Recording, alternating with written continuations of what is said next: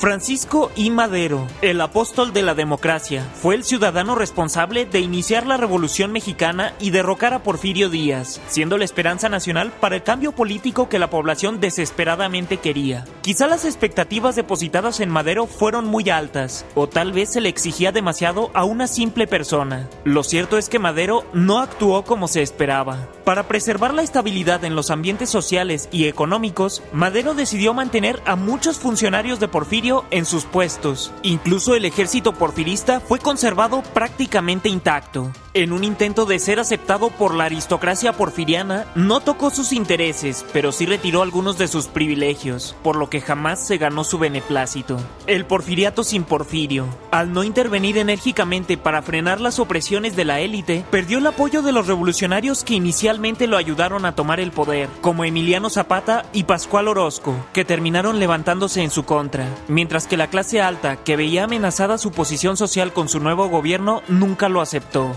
Madero no tuvo un panorama sencillo para gobernar, y con todos los estratos de la sociedad descontentos, se auguraba que su final estaba cerca. Victoriano Huerta fue comisionado por Madero para sofocar los alzamientos de Zapata y de Pascual Orozco, teniendo un enorme éxito con este último, ganándose la confianza del presidente. Mientras tanto, Manuel Mondragón, que recordaremos por ser el presunto responsable de artillar el puerto de Salina Cruz con unos cañones gigantes, junto con el exgobernador de Nuevo León, el general porfirista Bernardo Reyes y el general Félix Díaz, el sobrino de don Porfirio, planeaban en pleno corazón del país derrocar a Madero. Para lograrlo se contactó a Victoriano Huerta, ofreciéndole convertirlo en presidente si traicionaba a Madero, oferta que fue aceptada. El día 9 de febrero de 1913 dio inicio a lo que sería conocido como la Decena Trágica, 10 días en los que se llevó a cabo el ataque contra Madero en la misma capital. La confianza era tan dudosa que se tuvo que recurrir a los estudiantes de la escuela militar para escoltar al presidente, en lo que se convirtió en la Marcha de la Lealtad.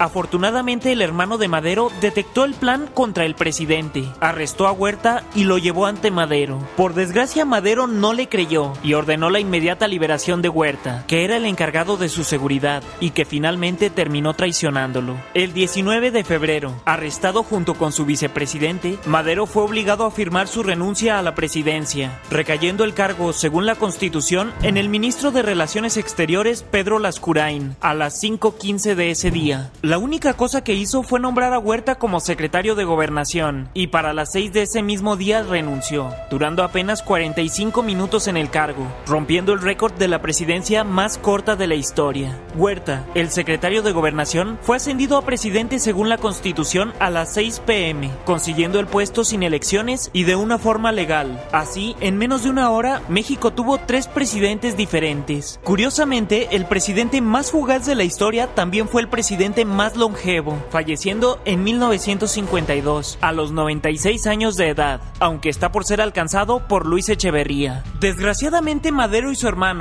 a quienes se les había prometido ser expulsados a Cuba, no vivieron lo suficiente para ver la presidencia de Huerta, quien se ganó el apodo de El Usurpador. Ambos hermanos Madero perecieron el mismo día, el 19 de febrero de 1913. Uno lo hizo en una de las paredes de la prisión de Lecumberri, mientras que el otro terminó en la estatua de Morelos de la Ciudadela, actual ciudad de los libros en la Ciudad de México. Fue Carranza el encargado de dirigir una nueva revolución en contra del usurpador, pero eso es otra ¿Qué piensas al respecto?